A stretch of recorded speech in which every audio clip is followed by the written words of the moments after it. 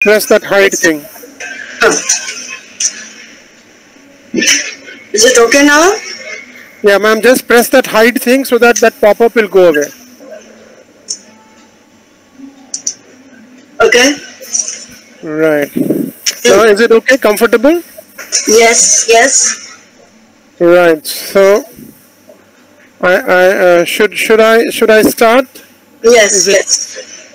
So, fair enough. Shall I be able to see myself?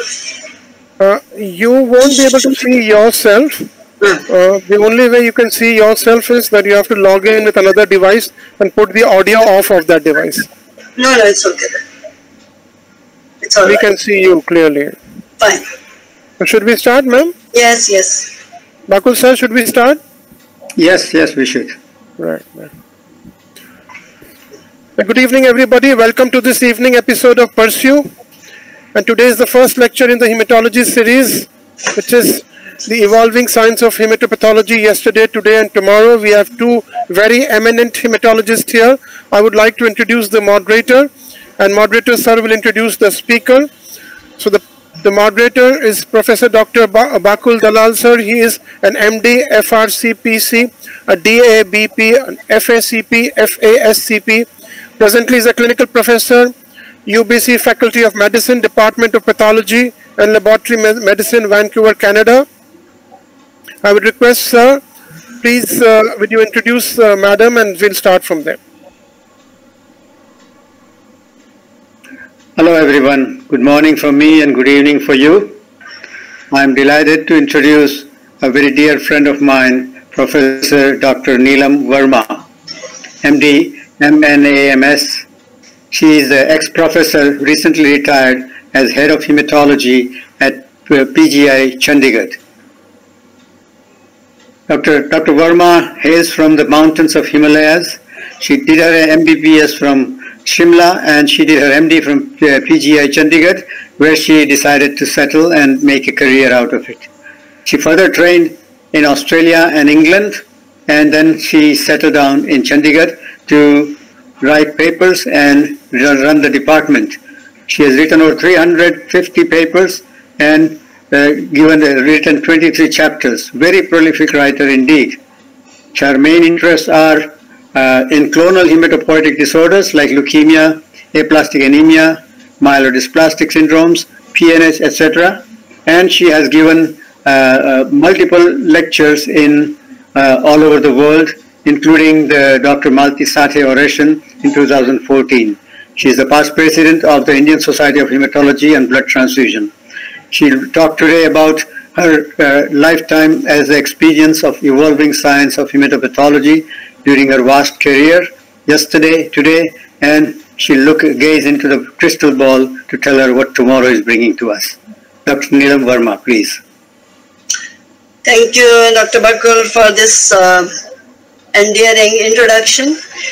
Uh, I wish to say that this presentation is not an exhaustive account of all the milestones in the evolution of hematology, hematopathology, and there are no relevant conflicts of interest to disclose.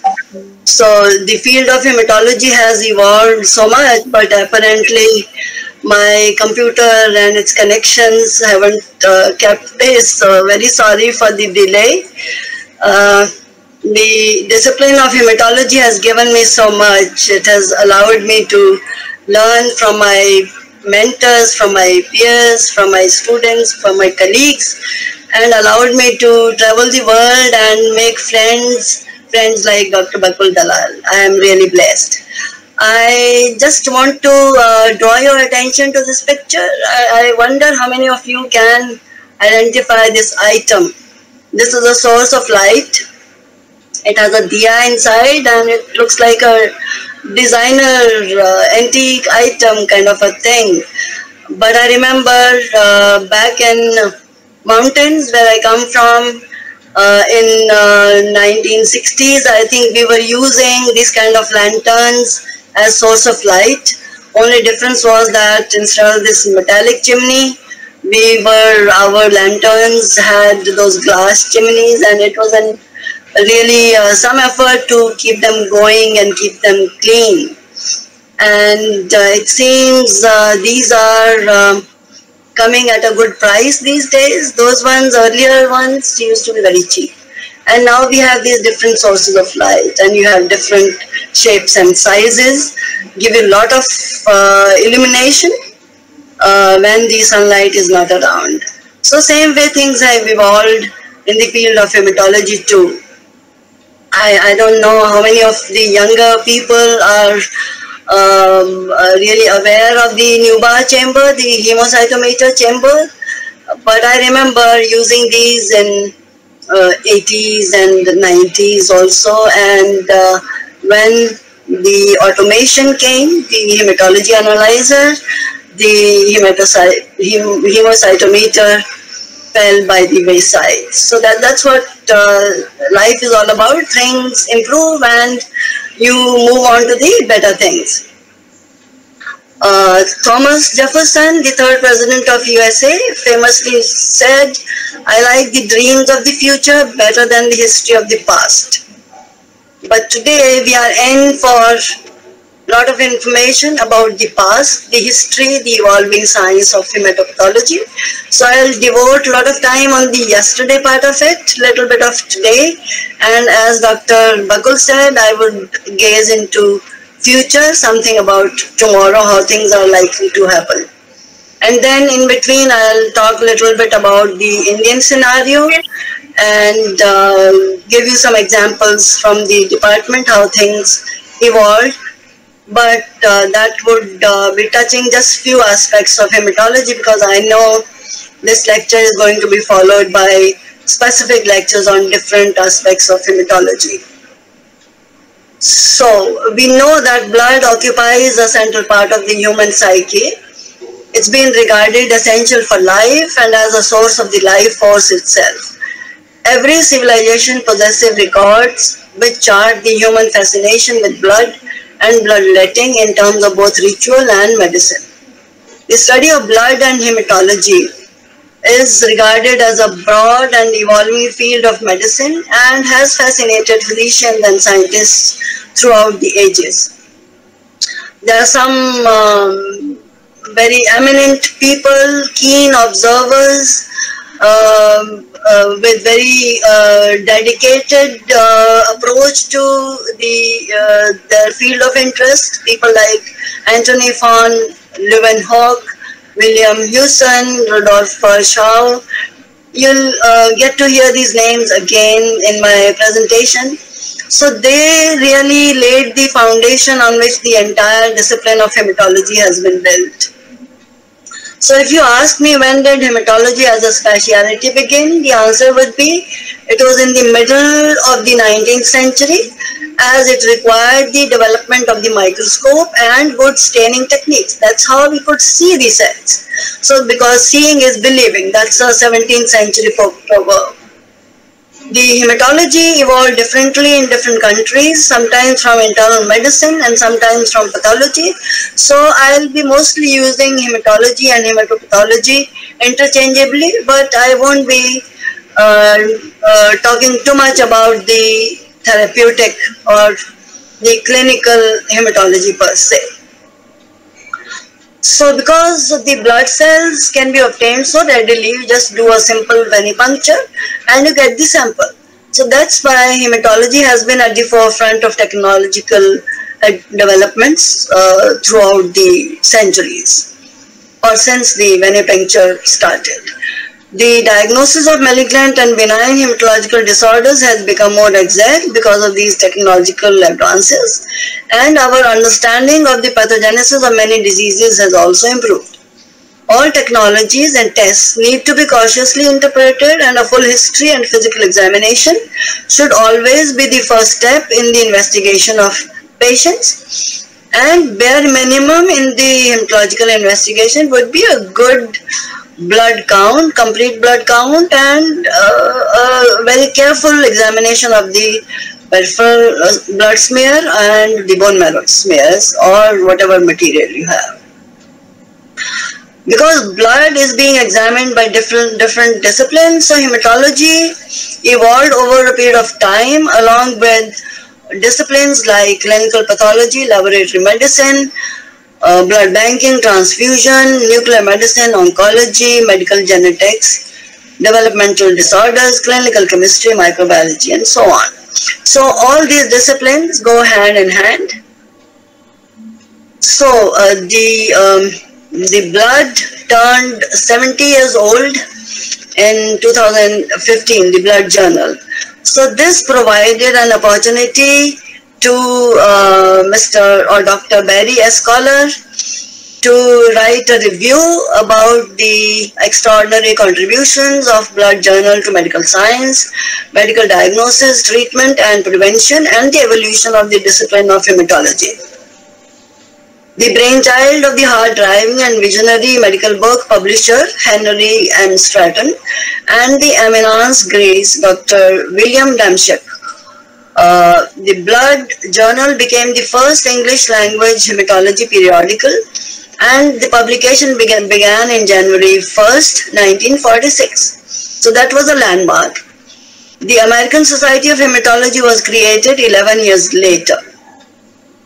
Mr. Stratton also initiated the informal blood club at the 1954 Atlantic City meet meeting of the Association of American Physicians, the American Society for Clinical Investigation, and the American Federation for Clinical Research.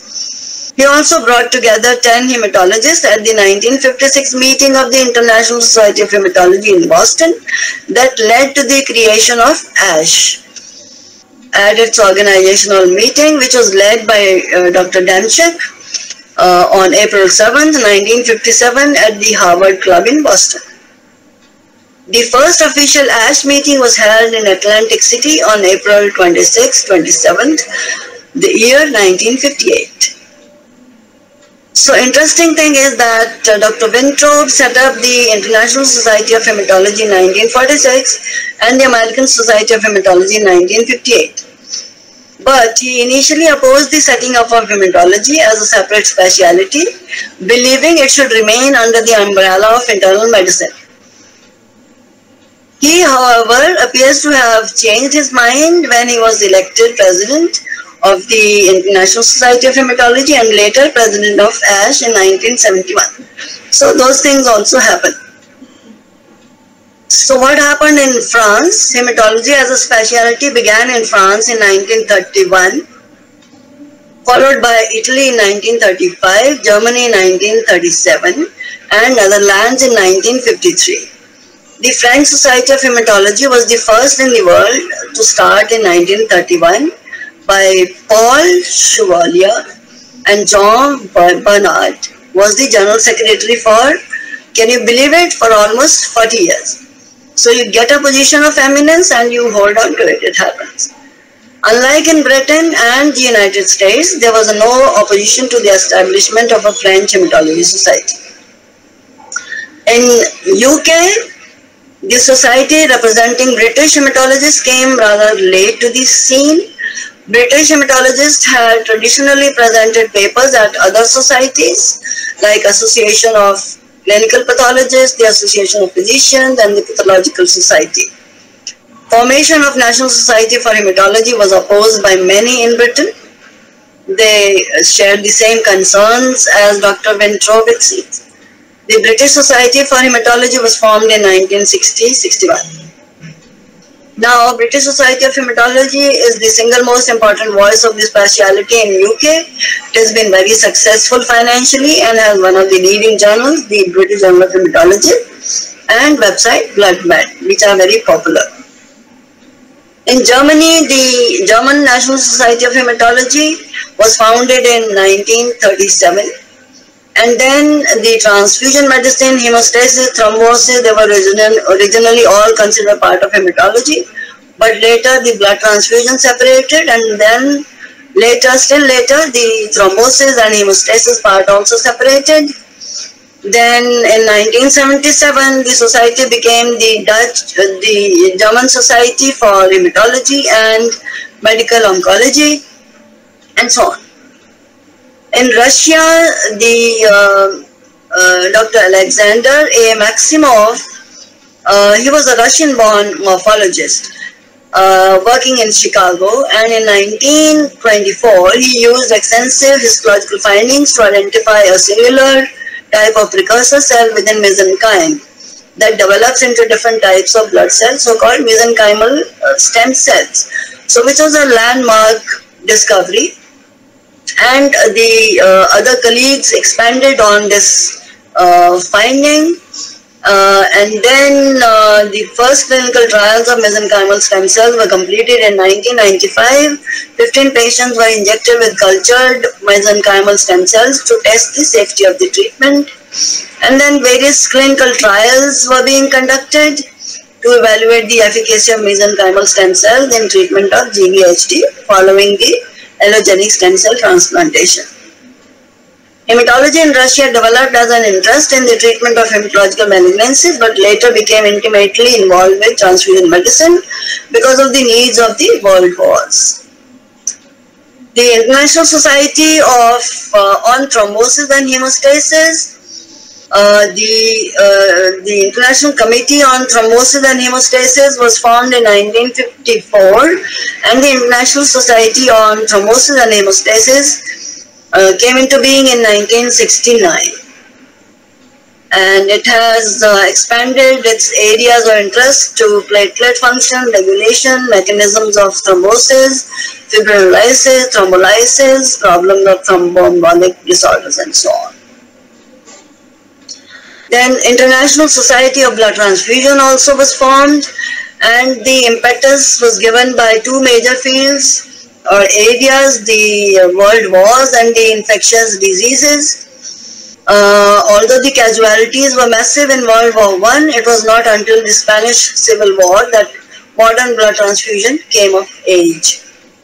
So that's how the need for blood collection, improvement in the blood collection, typing and transfusion was felt and lot of advancements happened into it. Uh, and with the advent of HIV AIDS also this became an issue and the screening for the various viruses became uh, mandatory. In Europe, uh, the European Association of Hematology was founded in Brussels, Belgium in June 1992 uh, has close ties to the European School of Hematology and the ASH and engages in education both within Europe and many other countries through, through its excellent outreach programs. The birth of uh, however, was not without its difficulties. The uh, currently holds an annual congress in the month of June and the journal is Hematologica.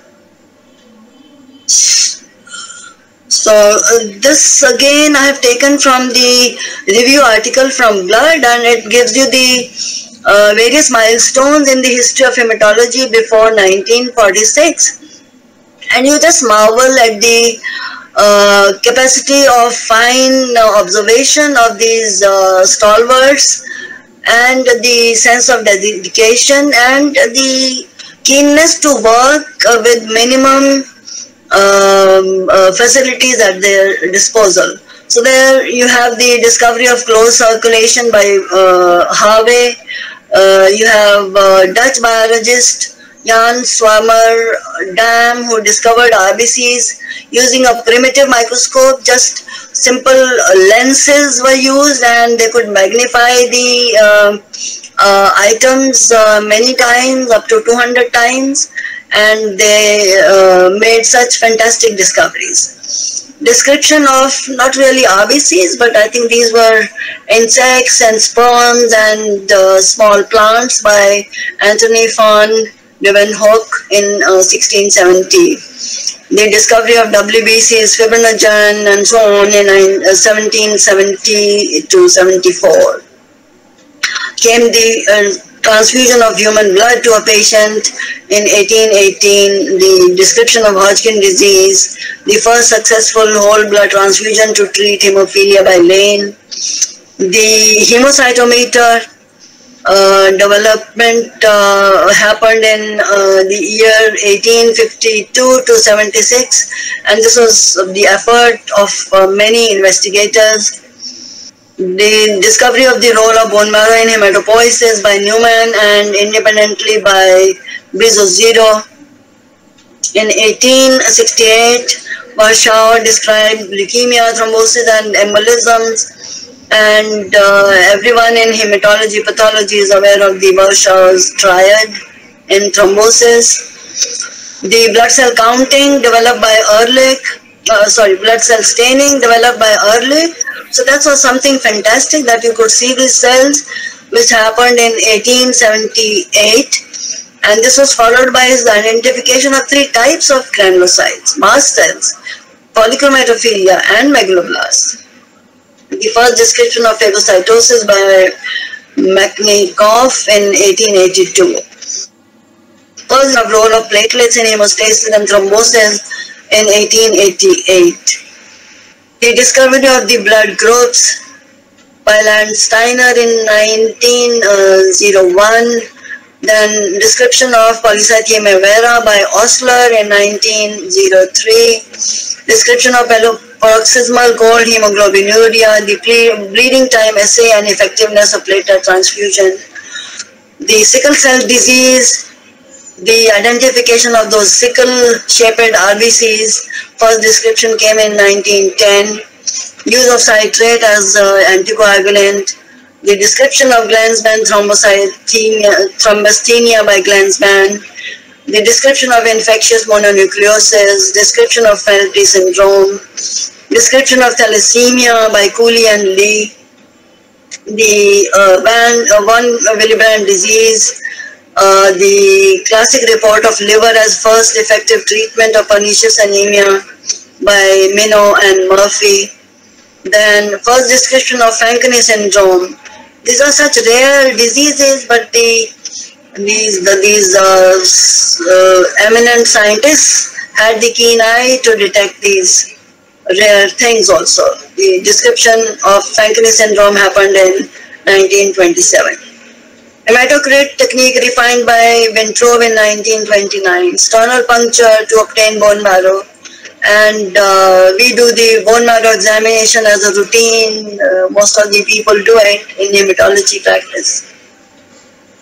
The identification of role of intrinsic factor in 1929. Wintrobe uh, described the classification of anemia based on RBC indices in 1934 and we are still making use of this information the uh, development of acidification assay for PNH happened in 1937 and it's such a intelligent test, uh, really remarkable. The anti-hemophilic uh, factor was identified in 1937, effect of warfarin on PT in humans described in 1941, macroglobulinemia described in 1944, anti-human globulin test to identify incomplete antibodies developed by Coombs. So Coombs test in 1945 and we still cannot get away from this test. We still have to use these in the relevant scenario. Efficacy of nitrogen mustard compounds in lymphomas and all.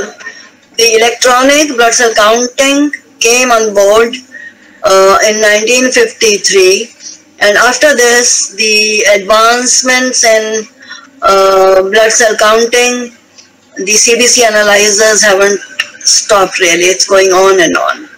The Journal of Clinical Chemistry and Laboratory Medicine was founded in 1963, although at that time the laboratory medicine was uh, didn't exist as an independent uh, discipline in 1963. It was just a stepchild of uh, clinical chemistry discipline. All the advancement, the automation was happening in clinical chemistry and the laboratory medicine, they were doing uh, the manual uh, techniques. They were employing the manual techniques. So, uh, yes. So what is the role of technology? What has happened in hematology? We, uh, you saw some of this history. So I am a great fan of history of uh, science, history of hematology especially.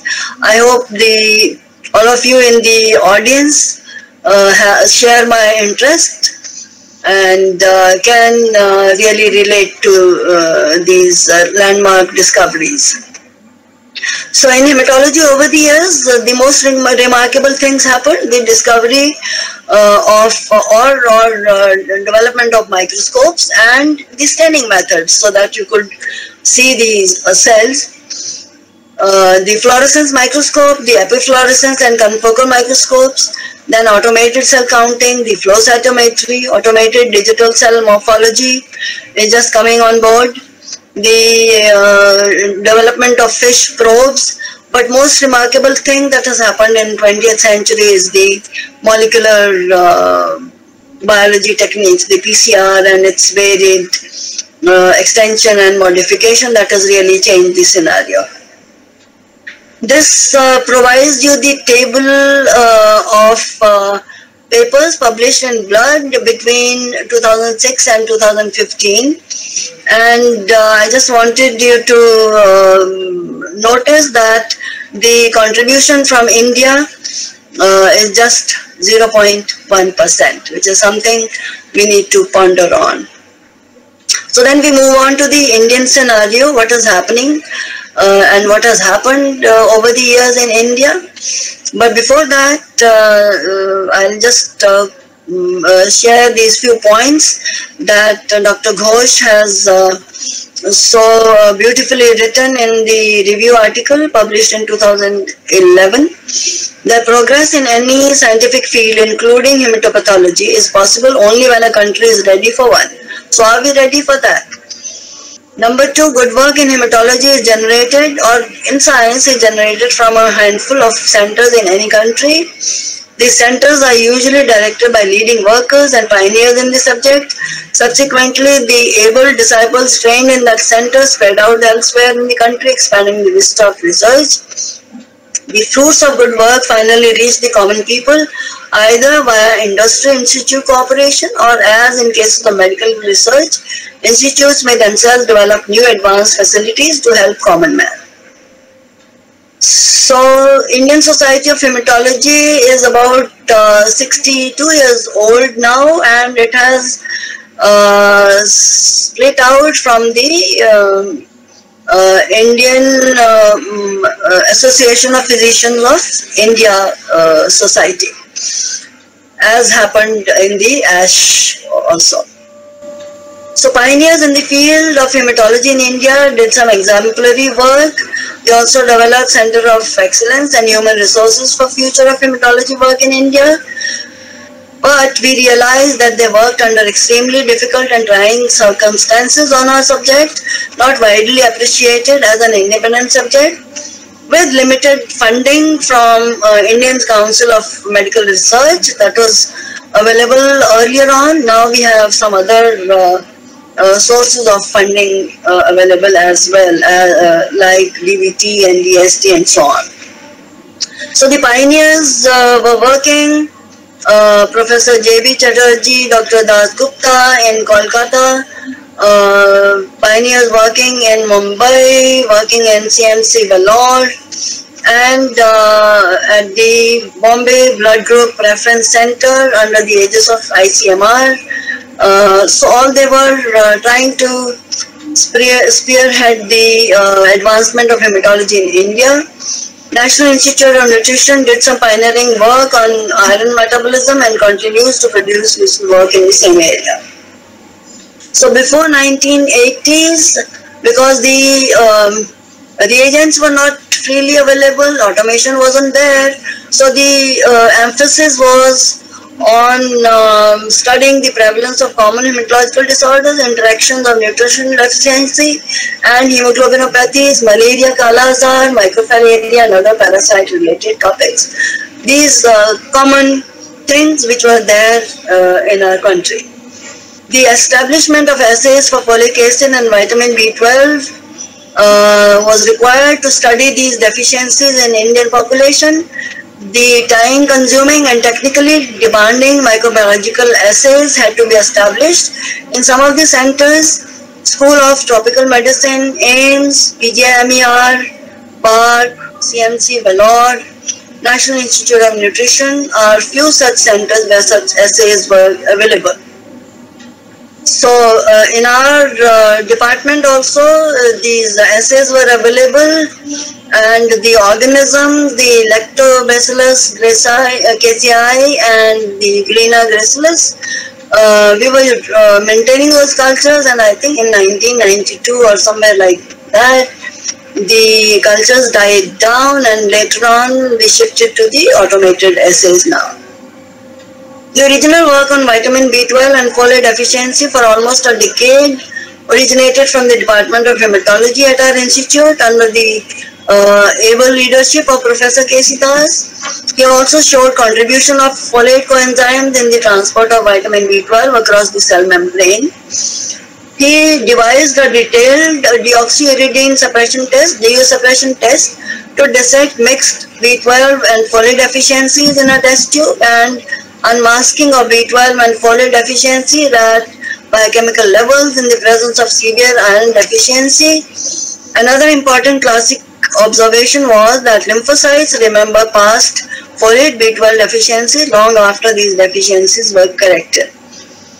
So I think some of these tests were being done when uh, friends like Dr. Bakul Dalal and others were uh, working uh, in, in the department or some of them must have left also to uh, greener pastures. This is how the test was being done. I think I won't go into the details. I'll just move on to the next part of uh, hematology evolution in Indian scenario that uh, in um, around 1980s, the myelodysplastic syndromes were being uh, described in detail. Classification of acute leukemia by FAB criteria uh, uh, has been proposed. So uh, different people, different workers were working on these areas. Immune dysfunction caused by iron deficiency anemia, B12 folate biochemistry, binding proteins of vitamin B12 in different hematological disorders, evaluation of microchromatography for measurements of uh, HbA2 compared to visual inspection, elution, and measurement of HbA2 from electrophoresis strips. that was the usual uh, methodologies being employed the cytochemistry in leukemias, marrow-trephine biopsies in hematological disorders. These were the main areas of research in various institutes. As I mentioned, the reagents were not readily available. Very little work on blood coagulation was done. One or two centers in the whole country were involved in basic coagulation work with the home uh, made reagents. The first case of antithrombin 3 deficiency was reported from the country by Dr. Mohanty in our department. Uh, she also adapted the technique for detecting antiplatelet antibodies and much more work was also done by um, her and other colleagues of hers and Dr. K.C. Das. Uh, I, I think because of shortage of time, I won't go into all those details. So after 1980s, the work in the area of thrombosis and hemostasis started getting published significantly more. Allogenic and autologous marrow transplantation data started emerging from few centers. The interest in work in the area of hemoglobinopathies, nutrition anemia, as expected, slowly dwindled HIV infection arrived in our country and transfusion transmitted viral diseases became an important issue. So in, uh, in the meanwhile, uh, young doctors also started showing interest uh, in hematology and the transfusion medicine. Uh, but we must realize that most of the Indian medical colleges or institutes do not have a separate department of diagnostic hematology or hematopathology. Uh, hematopathology and transfusion medicine mostly function under the uh, umbrella of Department of Pathology. Only two institutes offer hematopathology super specialty courses, that is DM hematopathology, that is PGI uh, MER uh, Chandigarh and AIIMS uh, New Delhi. Many other institutes offer clinical hematology super specialty courses, the DM clinical hematology to candidates having MD degree in internal medicine, pathology and pediatrics. This picture was taken in December 2012 during the PGI alumni meet and this shows you the pathology alumni group. uh, just train your eyes and try to identify the luminaries in the field of hematology. Professor K.C. Das, late Professor K.C. Das, Dr. Deepika Mohanty, she is there in the audience, uh, Professor Gurjeevan Garewal, and then you have a host of uh, others, uh, my uh, respected teachers, colleagues, and many, many students, many of whom have uh, become leading, leading figures in hematology and pathology and other allied specialities. So always nice to look at this picture. So I'll just come to a few examples how which will show you that how much what different we are doing in different diseases over the years. This um, short paper was published in American Journal of Hematology 2000 and uh, here we I think compared the conventional test for PNH, the uh, and sucrolysis test and we performed uh, flow cytometry also using monoclonal antibodies CD55 and CD59 which I got as gifts because these were not commercially available that time. And uh, later on we moved on to using uh, the commercially available uh, reagents, the FLAER the anti-CD24, anti-CD15 monocytes uh, were being tested or the all these other all cell types using FLAER and so on according to the proposed guidelines. And uh, so with great sensitivity we could detect the PNH clones and uh, this uh, paper showed that the presence of PNH clones does not completely exclude an inherited bone marrow failure syndrome even in children, although there was an earlier publication in uh, 2014 European Journal of Hematology where Dizan et al. reported that detection of PNH clones helps to exclude inherited bone marrow failure syndromes. We beg to differ. So the usual diagnostic workup of PNH uh, entails preliminary tests, the screening tests, the specific test for PNH diagnosis based on the complement sensitivity and its causes. So ham sucrolysis test I mentioned. Then we have gel cards and then flow cytometry for GPI proteins, the FLAER assays. Uh, now we don't follow this routine that we don't do the preliminary test, screening test, we just go on to perform flow cytometry for GP anchor protein and the FLAER assay. Uh, uh, for for uh, classical PNH cases or for detection of PNH defect and bone marrow failure syndromes in the setting of thrombosis and so on. And uh, if we find a defect and uh, patient is suspected to have uh, classical PNH or bone marrow failure syndrome, then we go on to perform these other tests, the ham sucrolysis test. I think there have been almost years when we haven't done this uh, hams and test, although it's nice to get them done and show to the students. So I think I'll just skip these. The, the way we used to do HAMS test and the sucrolysis test, it would take almost whole day for the technician to perform these tests. Whereas flow cytometry gives you just perfect results. Just to show you the granulocytes which are showing 85.7% uh, deficient population. The granulocytes here uh, 92.3% deficient uh, uh, population, monocytes showing 91.2% PNH population. The RBC is also showing uh, a significant 53.4 and uh, 22. 5% PNH population.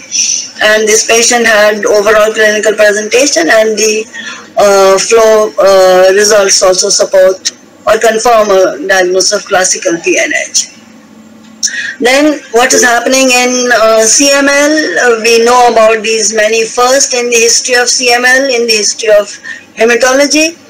So it has to be diagnosed in the appropriate clinical setting. You look at the peripheral smear, these beautifully stained, the whole range of myeloid cell populations uh, and then earlier we used to do so many things, the um, LAP scoring and whatnot, and uh, great emphasis on hypercellular bone marrow with granulocytic and granulocytic megakaryocytic hyperplasia. Now we can detect the Philadelphia chromosome and many of you uh, might remember that uh, uh, earlier uh, the photographs of the banded metaphases were taken. Uh, then the technician, Mr. Uh, Krishan Lal and Kiran Malik and so on, they would cut out these individual chromosomes and then line up uh, line them up and uh, have a karyogram ready for you for reporting. Now the same job is done by our karyotyping station and with uh, much much greater accuracy and sensitivity. Now we, uh, in, in addition to the cytogenetics analysis, we uh, perform the automated RT-PCR using the GeneXpert system also for our CML patients uh, for the monitoring purposes. We perform the um, uh, RT-PCR also to identify various BCR-ABL transcripts also. So this was the publication, uh, our experience published in uh, 2015 about early molecular response in CML where we had used the GeneXpert uh, uh, in these patients. This uh, slide shows you a paper written by Reena, Jasmina and Manuk Desh about the hematological practice in India. Uh, just the important message is that Hematological practice ranges from availability of advanced diagnostic facilities and treatment to uh, unavailability of basic medical services to rural, rural India. Problems include a very, very huge population, the socio-economic disparity, minimal coverage of health insurance schemes, and the uh, government's inability to provide universal health coverage and uh, the recent experience with uh, COVID-19 has really brought out the deficiency in, uh, in our health uh, coverage, um, the coverage of the health uh, care in our country. Um, this uh, is a student of uh, Reena, Manu Jamwal, who's uh, done a PhD thesis on the unexplained, uncharacterized uh, hemolytic anemias also. That just shows you the uh, usage of uh, NGS to identify nonsense variant in the hexokinase 1 gene causing severe non-spherocytic hemolytic anemia. Uh, so in the case of childhood uh, B-cell precursor ALL, we are supposed to do the morphology, we are supposed to do the flow cytometry, and then after identifying BCP ALL, we have to perform the cytogenetics, FISH, RT-PCR in these patients, and if possible, DNA index also. So this is just example of translocation 411 and uh, this shows you the RT-PCR uh, multiplex RT-PCR result for VLL fusion transcripts and uh, the ETV6 RUNX1 fusion.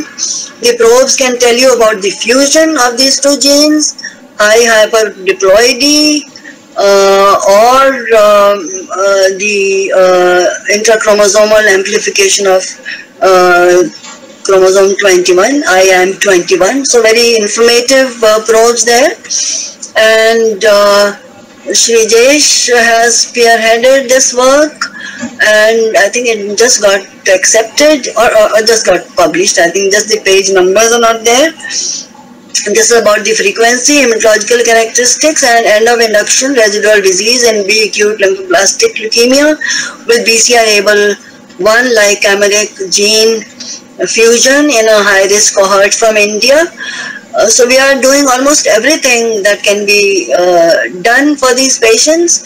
And as a part of PhD thesis, uh, Dikshit So has just finished his work on identifying BCR-ABL-like uh, gene signature using machine learning uh, based uh, nomogram.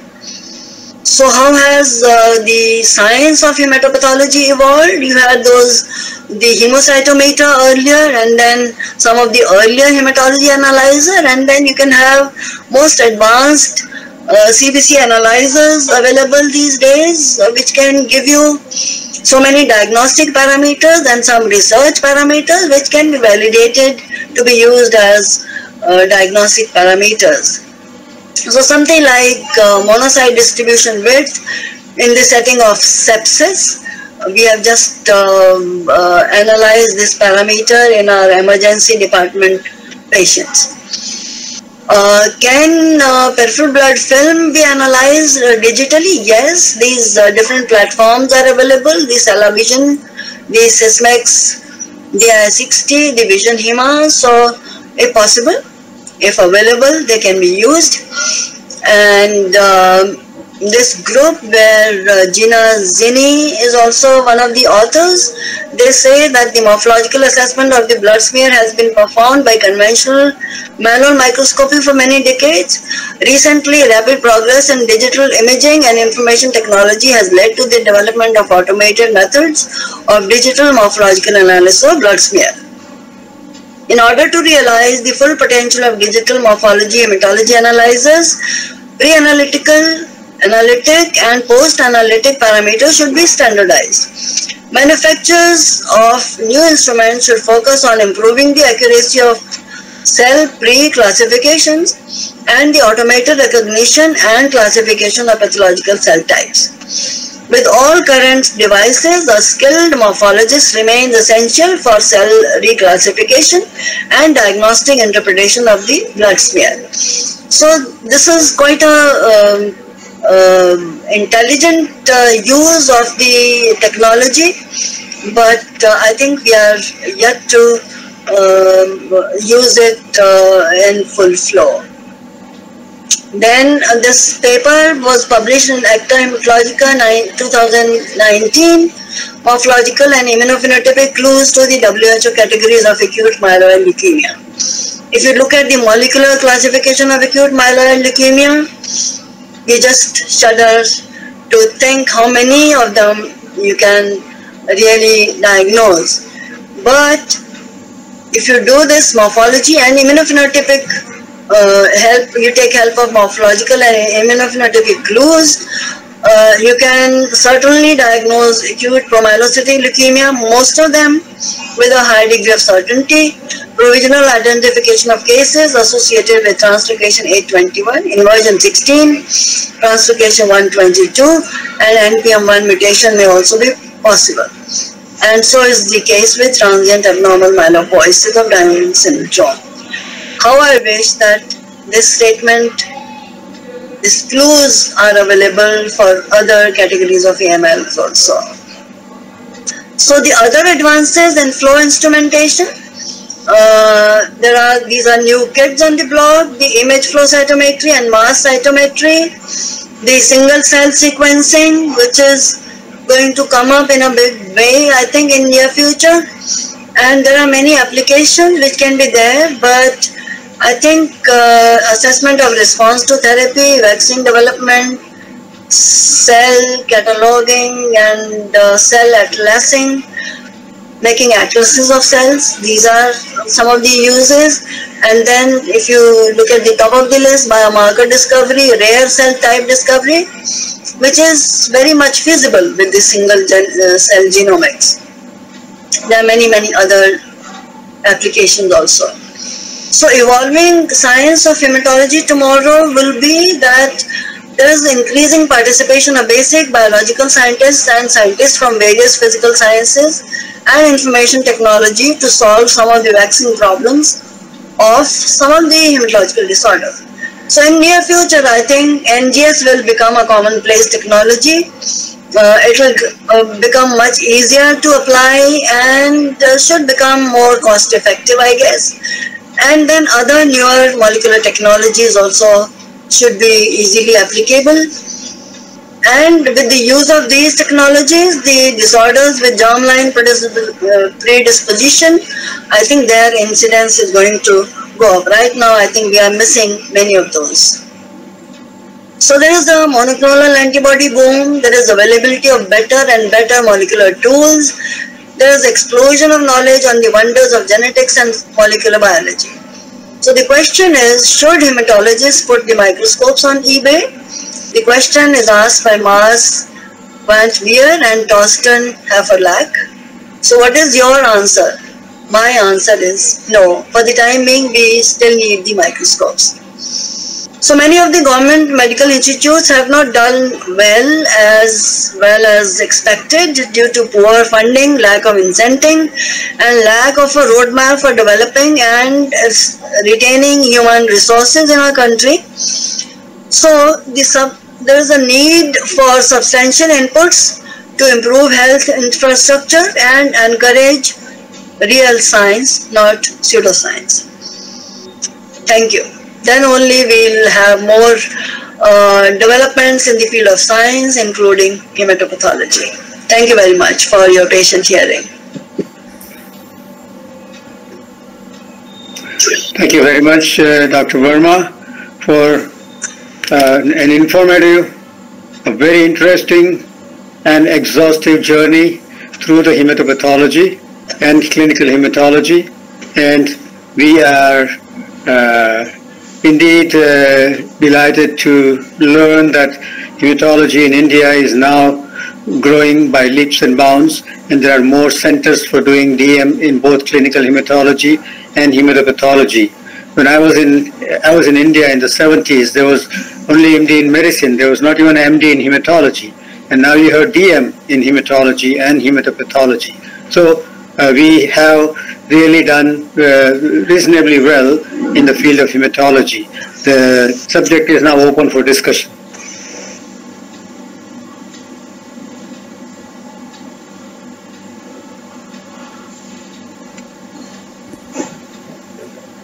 Anyone, any comments? Requesting people to unmute their mic and, you know, speak. Bakul Bhai, this yes. Deepak yeah. Hello, hello. Very nice talk, ma'am. Uh, you went through the past, present, and the future. Put your video on as well, sir. The video, video, Deepak? Yes, yes. Uh, I'll just put my video on. Yeah. Yes. Good to see you. Thank you. Thank you. I was just in another meeting by uh, Professor Tejinder. He was giving a talk. Right, right. just reached to the side. Uh, what I'm saying that uh, technology is moving at such a rapid pace. For an under-resourced country like ours, it is very difficult to keep pace with it.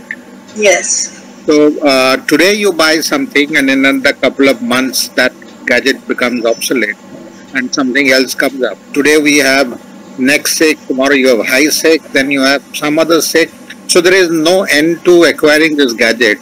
So I think we have to make a judicious uh, mix of technology and uh, our own, uh, Madam had said, microscope will still remain the bread and butter. But I think keep pace with the international uh, technology, we have to have something minimum to do uh, basic diagnostics. And there will be certain sectors of excellence, excellence like CGI, Tata Memorial and NIH, uh, the National Institute of Hematology. So like that, uh, CMC Vellore, even we are doing reasonably well. So I think there will be some centers who will be uh, helping people to do such high-end things but I think most of the Indian centers would at least be able to do basic hematology work for patients. Yes. Good hematology with flow cytometry should be good enough to diagnose acute leukemia. And if you want to do cytogenetics and molecular genetics, then you need to outsource rather than try to invest crores of rupees developing these couple of We have to develop a system of referral as to where you can send your sample for these advancements. Yes, I would uh, agree totally with you, Deepak. And I think uh, uh, in a resource constrained country like ours, we need to identify different areas, different fields of interest for different centers. I think all the centers need not do everything, right? So some centers can have expertise in uh, different uh, set of diseases. Other centers can develop expertise in different set of diseases. I think that's how we can optimize our resources and produce good work. These days, without molecular biology uh, analysis, it's very difficult to publish things, publish papers. So we need to work on that. Well, what do you think, Dr. Bakul? Should we do Yeah, I-? I, think I think in the era of uh, uh, resource resource poorness, we have to rationalize the uh, funding and uh, develop a system whereby different large institutions will focus on different aspects of uh, newer technology and uh, the referral system can be developed uh, by whereby everyone can benefit uh, for and, and still keep up to date. In a large country as such as India, it is very difficult to uh, to do everything by everybody, and uh, uh, centers like TMC and PGI and AIIMS should take leadership and develop a consortium where the advanced investigations, which are very expensive and very rapidly evolving, can be uh, can be diversified. Yes, and we definitely need more funding in the healthcare system. There's the definite need for more funding, and Yes. I strongly ad, ad, uh, advocate for the Medical Council of India and the Department of Health, Ministry of Health, to give, give more funding to uh, for the better betterment of the patients, better treatment. Even though uh, Dr. Deepak said that uh, morphology and flow cytometry is enough for leukemias, uh, with the, the newer uh, targeted treatments, the, the molecular st- studies are becoming uh, of uh, important and uh, uh, it, it, and, and mandatory for for the uh, proper treatment, and for that you need to do, you need more resources. Yes, for prognostication and uh, directed treatment. Sure. Right. Okay. Any other comments, questions? Nobody has, has anybody typed? No. No, ma'am, there are no typed comments. Right. Okay, okay. Okay, Nadeem. I think I can't expect many questions in the history, history part of hematology. It's just like storytelling, I guess. The seniors are here, they should be, you know, putting in there. I was expecting Dr. Mohanty to say something. Is she, is she still She talking? She is, she is logged off. Yes, yes. Okay. Okay. Right. Well, if there are no more questions, then thank you very much, Dr. Varma, for uh, very lucid presentation, and uh, look forward to seeing more from you. Thank you. Thank you very much for being there. And uh, thank you, Nadeem, for inviting me to deliver is this uh, talk. Uncle Guy on the screen virtually. He he looks like uh, uh, the admiral of the fleet. Who? Sorry? I said Bakul Bhai is looking like admiral of Yes, the fleet. yes, yes, yes. He's dressed Yeah. up like a moderator, distinguished Mhm. moderator. Yes, yeah, yeah. Good to see you all. Yeah. Good to see you all. Thank you very much. Yes. Thank you. Thank you, Right. thank you Thank you so much, much. ma'am. Thank you for consenting, and thank you, uh, Dr. Bakul, uh, to consent to be here as a moderator. Thank you, Dr. Deepak, and everybody else who joined in. This is a very important lecture, you know, uh, and this will be there in the YouTube, and there's a recorded version for everybody to go back and see the yesteryears of hematology. That is something which we all are not very much aware of. Thank you so much, ma'am. Thank you. Bye bye. Take care, ma'am. Good night. Thank you. Take care. Bye-bye. Namaste. Bye bye. Thank you. Bye.